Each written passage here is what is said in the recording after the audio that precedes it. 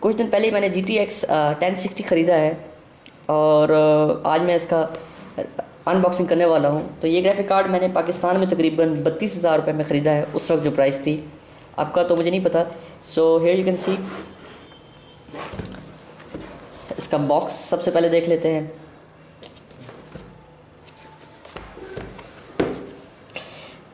جیسے کہ دکھ رہا ہے کہ یہ ten sixty windforce three G B graphic card ہے۔ اوکے، باقی چیزیں یہ فل ہوئی ہوئی ہیں۔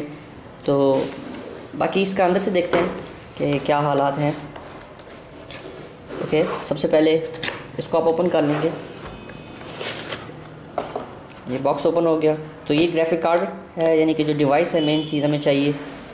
تو اس کو احتیاط سے کھولنا ہے مطلب سائڈ سے پکڑیں۔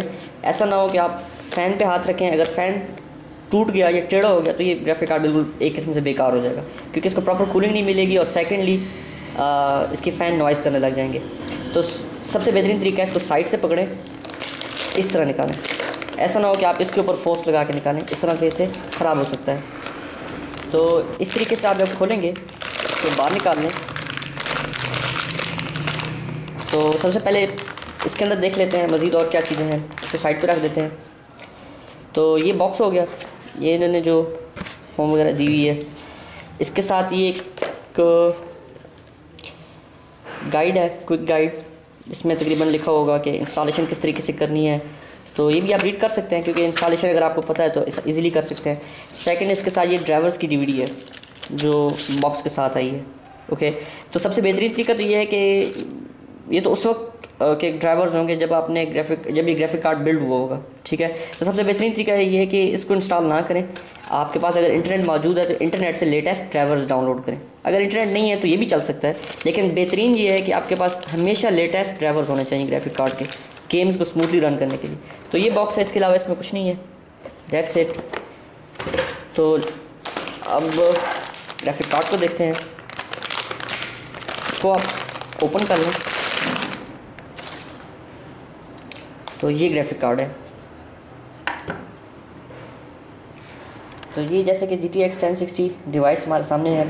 کیونکہ میں نے گیگا بائٹ کے جو مینوفیکچرار ہے، اسے خریدا ہے۔ تو یہ آپ کے سامنے ہے۔ اس کے اندر یعنی کہ ڈول فینز ہیں۔ جیسے کہ یہ ڈول بلیڈز لگے ہوئے ہیں، جیسے کہ ونڈ فورس سب سے اس کی اچھی بات یہ ہے کہ اس کا کولنگ سسٹم بہت اچھا ہے۔ زیادہ اچھا بھی نہیں کہہ سکتا، لیکن درمیانہ ہے، ٹھیک ہے؟ اگر آپ پاکستان میں ہیں تو آپ کو ڈول فین یا ٹرپل فین گرافک کارڈ ضرور لینا چاہیے۔ اس سے یہ ہوتا ہے کہ پاکستان میں آلریڈی گرمی بہت زیادہ ہوتی ہے، تو گرافک کارڈ کو جتنا آپ کولنگ پرووائڈ کریں گے، اتنا اچھا ورک کرے گا، ٹھیک ہے؟ اور جیسے کہ دیکھ سکتے ہیں، اس میں ہیٹ سنک بھی اچھا لگا ہوا ہے، اس طرف سے بھی۔ اور ڈول بلیڈ اٹس گڈ تقریباً ٹمپریچر آپ کا ڈاؤن ہی رہے، بہتر ہے۔ تو اس کے ساتھ یہ لگا ہوا ہے، یہ ہے پی سی آئی کی جگہ جہاں پہ لگانا ہے آپ نے۔ اوکے اوکے اب یہاں دیکھ لیں کہ ایچ ڈی ایم آئی ٹھیک ہے؟ اب آپ نے یہ چیک کر لینا ہے کہ ایچ ڈی ایم آئی اگر آپ کے پاس ہیں تو۔ سیکنڈلی اس میں وی جی اے نہیں دیا ہوا۔ آپ کو یہ ضرورت ہوگی جس کو ڈی وی آئی ڈی کال کرتے ہیں۔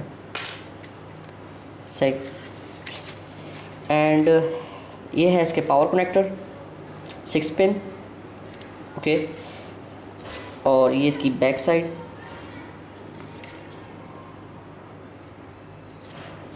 اور سب سے جو امپورٹنٹ چیز آپ نے اس کے فینس کا خیال رکھنا ہے، ابھی میں یعنی کہ اگر اس کو انسٹال کرتے وقت یا کچھ بھی کرتے وقت، اگر اس کے فینس کو جی، یہ تھا ایک سمپل سا G T X ten sixty کا unboxing so here it is thank you for watching take care bye bye